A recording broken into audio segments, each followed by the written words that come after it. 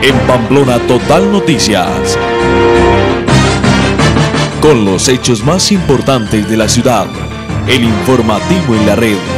De lunes a viernes. Con la información veraz y con credibilidad del Oriente Colombiano. El informativo. Pamplona Total Noticias. La verdad por encima de todo.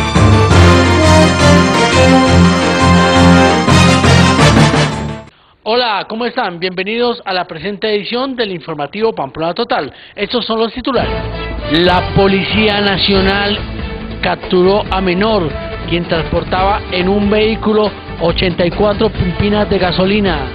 Con normalidad se viene desarrollando el proceso de traslados de la ARS Famisalud a las otras ARS. La Policía Nacional capturó a un menor quien transportaba en un vehículo 84 pimpinas de gasolina.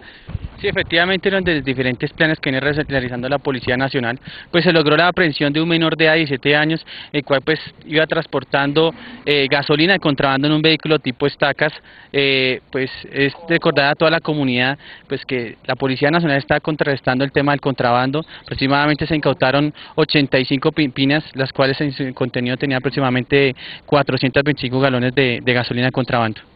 ¿Dónde fue el operativo? El operativo fue a la entrada del municipio de Pamplona. Eh, hora, la hora fue aproximadamente entre cuatro y media, cinco de la mañana, pues las, los contrabandistas aprovechan esta hora precisamente para ver los cercos policiales. Se viene desarrollando normalmente con la asistencia de personas el proceso de traslados de la ARS Famisalud a las otras ARS. El proceso se viene cumpliendo normalmente en la plazoleta de la alcaldía municipal. Eh, sí, efectivamente, pues la población de Pamplona, los usuarios que están afiliados a Famisalud y que necesitan eh, traslado han respondido a la convocatoria hecha por el señor alcalde municipal y la, dirección local de salud. Efectivamente, pues la persona, las personas están asistiendo, las EPS también pues asistieron, eh, se ubicaron, se organizaron y pues disponemos de todos los equipos y la tecnología necesaria. Eh, estamos asesorando a las personas. Eh, se está desarrollando un proceso como lo queríamos, también tenemos acompañamiento de las veedurías, del personero, eh, de la oficina del CISBEN y efectivamente pues estamos en el proceso, esperamos e invitamos también a todas las personas y le reiteramos que por favor se acerquen. Estaremos hoy, eh, mañana jueves y el viernes acá en la alcaldía para asesorarlos y apoyarlos en cualquier duda que tengan al respecto en lo relacionado con el proceso de traslados. ¿Cuántas personas o usuarios deben hacer estos traslados y qué aspiran ustedes acá? Pues tenemos pendientes 3.200 eh, personas eh, aproximadamente. Este, esperamos pues que todas las personas acudan y esperamos eh, poder eh, cumplir la meta del 100% pues en estos tres días, sería lo ideal. es muy importante que pues las EPS también ya cuenten con con qué usuarios eh, se trasladaron a ellas para que ellos puedan también pues suscribir los contratos, agilizar sus contratos con las diferentes IPS, con todos los prestadores de servicios de salud, pues es importante pues para que ellos actualicen sus contratos y puedan eh, prestar un servicio con calidad también. La gestora social del municipio viene adelantando las actividades programadas con motivo del mes del niño. Se ha invitado a un concurso de cuento para que participen los niños de la ciudad. Actividades, hemos empezado las actividades desde el día 15, que el domingo yo creo que la gente se pudo dar cuenta que había una ventovía. Eh, estas actividades van a estar hasta el 30 de, abril. El Día del Niño le estamos girando al buen trato y a los valores. Eh, aprovecho el momento para invitar a todos los niños y niñas de Pamplona para que escriban, para que eh, redacten un cuento, el tema va a ser libre, lo ideal es que tenga como un inicio, un nudo y un desenlace.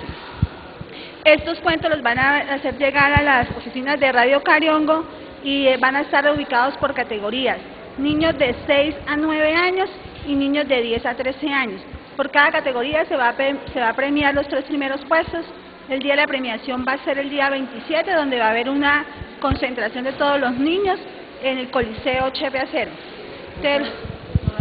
ya este viernes se tiene una actividad con los niños, sabemos que ya instituciones como la Policía Nacional y otras entidades empiezan ya a vincularse de lleno con la Sí, aprovecho para dar las gracias a todas las entidades que se han vinculado con nosotros a, realizar el Día del Niño, pues ya que eso es el futuro de nosotros y darle una sonrisa a un niño es lo ideal que, que deberíamos hacer todos los días. Sí, la policía tiene esa actividad donde van a invitaron a todos los presidentes de junta, donde cada presidente iba a sacar por su barrio un, un equipo de niños de fútbol y ese, ese equipo de fútbol va a tener esto, un nombre que va a ser un valor. A las 2 de la tarde tenemos la actividad de, de hacer unas comparsas, de salir, empezamos desde la parte de la estación de policía, eh, invitamos a los colegios también para que se vinculen, para que saquen su comparsa, las instituciones, igualmente la que quiera. Eh, lo ideal es que pues salgamos todos, integremos y que se vea la importancia que tiene un niño acá en Pamplona y en todos lados. Rubén Darío Cañas Liscano es el presidente de la Junta de Acción Comunal del barrio La Romero. Está invitando a los vecinos de ese sector a una asamblea esta noche. Sí, estamos haciendo cordial invitación hoy a las 7 de la noche en el Club Unión con el, con el fin de elegir eh, asamblea, eh, elegir eh, las planchas para la nueva convocatoria que hay para nuevos presidentes y Junta de Acción Comunal el 29 de este mes. Entonces, cordial invitación a todos los sectores de, que corresponden a, la Romero, como el Madrigal, Augusto Ramírez, Isla María, eh, Villas de San Juan y otros, otros, otros sectores que corresponden a la urbanización Romero, hoy a las 7 de la noche en el Club Unión. Han sido muy amables por acompañarnos a esta edición del informativo Pamplona Total. Ya empieza a extrañar. En Pamplona Total.